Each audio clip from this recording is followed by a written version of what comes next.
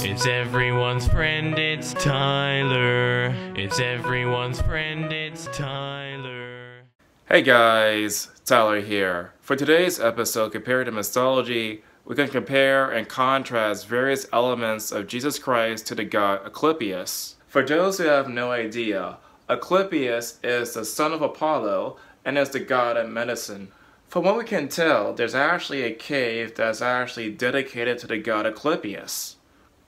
From the 5th century BC onwards, the cult of Asclepius grew very popular, and pilgrims flocked to his healing temples to be cured of their ills. Ritual purification would be followed by offerings and sacrifices to the gods, and the supplement would be then spread the night in the holiest part of the sanctuary. Any dreams or vision will be reported to a priest who will prescribe the appropriate therapy by a process of interpretation.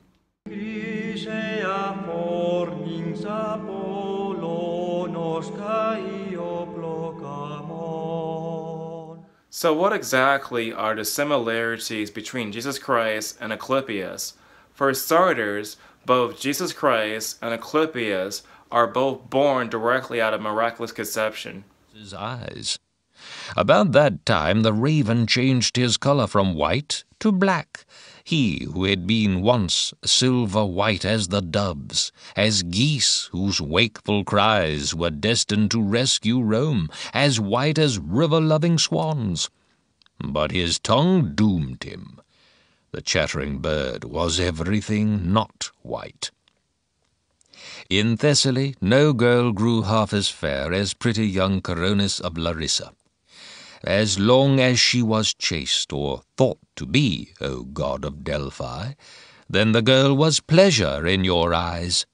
But her unfaithfulness was closely witnessed by Apollo's bird, who ran, or rather flew, to tell his master. When bright Apollo, god and lover, heard this news, the laurels melted from his curls, his face, his colour paled, the plectra fluttered from his hand, and as his heart flamed into growing rage, he snatched his usual weapons, strung taut his bow, aimed at and pierced the breast that he so often held against his own. Then as he drew his arrow from her heart, and her white belly and thighs ran red with blood, the girl groaned, Phoebus, oh, this deepest thrust was well deserved, but first I should have given the child beneath my heart his light of day. For now we die as one. And with these words her life poured from her veins in blood, body and limbs grown cold within the cold of death. Her lover wept too late, too late for tears or to undo the cruel act done.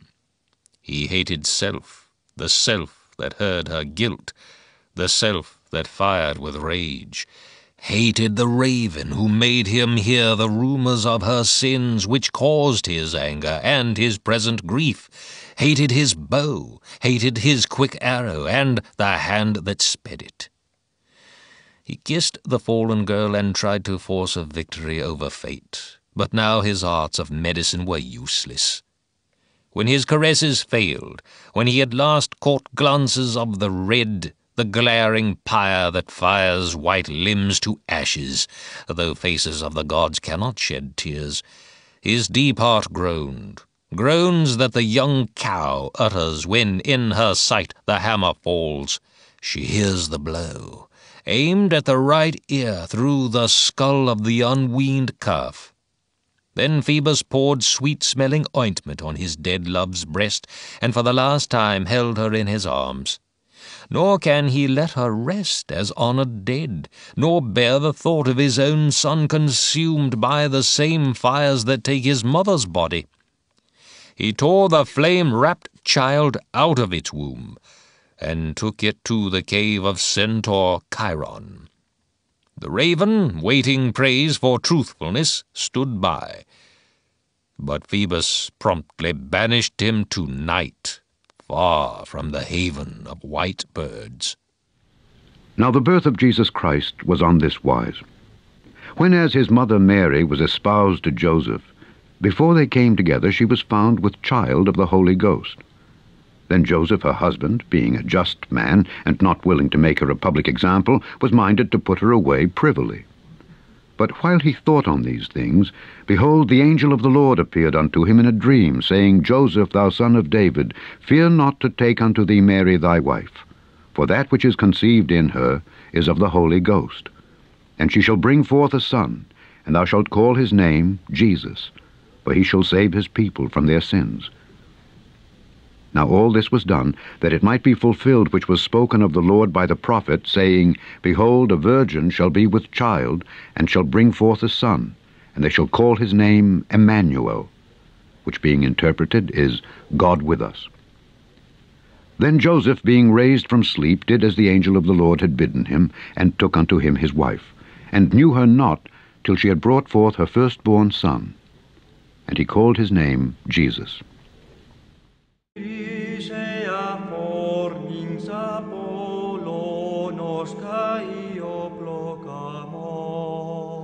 When Asclepius was alive, he had the absolute ability to create medicine and also heal people, and so many people will flock to him and they will be healed directly from Asclepius.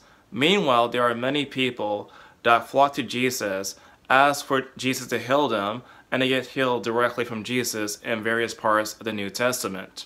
Asclepius, say the Epidaurians, learned the art of healing both from Apollo and from Chiron. He became so skilled in surgery and the use of drugs that he is revered as the founder of medicine. Not only did he heal the sick, but Athene had given him two phials of the Gorgon Medusa's blood. With what had been drawn from the veins of her left side, he could raise the dead. With what had been drawn from her right side, he could destroy instantly. Others say that Athene and Asclepius divided the blood between them. He used it to save life, but she to destroy life and instigate wars. And when Jesus was come into Peter's house, he saw his wife's mother laid and sick of a fever. And he touched her hand, and the fever left her, and she arose and ministered unto them. When the even was come, they brought unto him many that were possessed with devils, and he cast out the spirits with his word, and healed all that was sick. And it came to pass that when Jesus was returned, the people gladly received him, for they were all waiting for him. And behold, there came a man named Jairus, and he was a ruler of the synagogue. And he fell down at Jesus' feet and besought him that he would come into his house. For he had one only daughter, about twelve years of age, and she lay a dying. But as he went, the people thronged him. And a woman, having an issue of blood twelve years, which had spent all her living upon physicians, neither could be healed of any, came behind him, and touched the border of his garment and immediately her issue of blood stanched. There cometh one from the ruler of the synagogue's house, saying to him, Thy daughter is dead, trouble not the master. But when Jesus heard it, he answered him, saying, Fear not, believe only, and she shall be made whole. And when he came into the house, he suffered no man to go in, save Peter and James and John, and the father and the mother of the maiden. And all wept and bewailed her. But he said, Weep not. She is not dead, but sleepeth. And they laughed him to scorn, knowing that she was dead. And he put them all out, and took her by the hand, and called, saying, Maid, arise. And her spirit came again, and she arose straightway, and he commanded to give her meat. And, and it came to pass the day after that he went into a city called Nain, and many of his disciples went with him, and much people. Now when he came nigh to the gate of the city, behold, there was a dead man carried out, the only son of his mother, and she was a widow, and much people of the city was with her. And when the Lord saw her, he had compassion on her, and said unto her, Weep not. And he came and touched the bier, and they that bare him stood still. And he said, Young man, I say unto thee, Arise. And he that was dead sat up and began to speak and he delivered him to his mother. And they...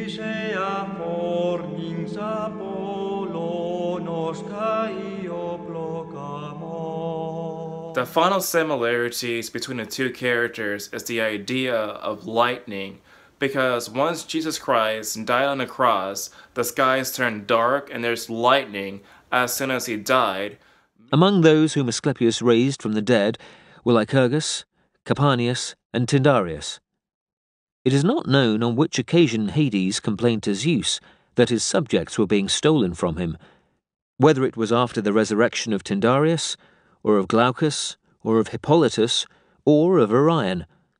It is certain only that Asclepius was accused of having been bribed with gold, and that both he and his patient were killed by Zeus's thunderbolt. However, Zeus later restored Asclepius to life, and so fulfilled an indiscreet prophecy made by Charon's daughter Oepe, who had declared that Asclepius would become a god, die, and resume godhead, thus twice renewing his destiny. And he said unto the disciples, The days will come when ye shall desire to see one of the days of the Son of Man, and ye shall not see it. And they shall say to you, See here, or See there. Go not after them, nor follow them. For as the lightning that lighteneth out of the one part under heaven shineth unto the other part under heaven, so shall also the Son of Man be in his day. Now from the sixth hour there was darkness over all the land unto the ninth hour. And it was about the sixth hour, and there was a darkness over all the earth until the ninth hour. And the sun was darkened, and the veil of the temple was rent in the midst.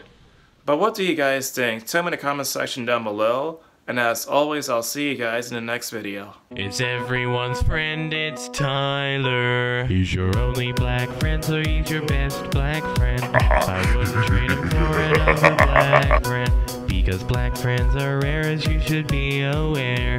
He smiles like Richard Pryor, so just sit and stare. It's everyone's friend, it's Tyler. It's everyone's friend, it's Tyler. It's everyone's friend, it's Tyler.